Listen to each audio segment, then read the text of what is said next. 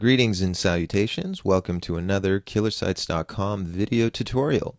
In this tutorial, we're going to be looking at an introduction to Photoshop. So all the great things that you'll need to know on how to create images for use in either a web environment, as most of you killersites.com students will probably be looking for.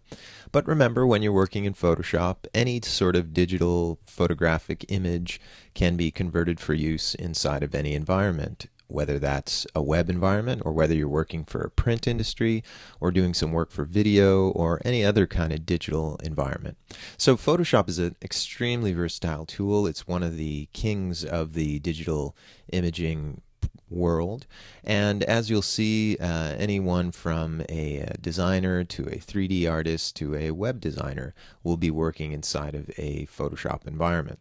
So while there's a lot that we can do with Photoshop. The fundamentals, the introduction that we have planned here, are going to focus on its use for the web. Now, that doesn't mean that we're not going to be learning anything for use with Photoshop in a print environment. No, of course, certainly anything that I'm going to be showing you in this tutorial can be used in either web or print or any other, for example, video or anything else.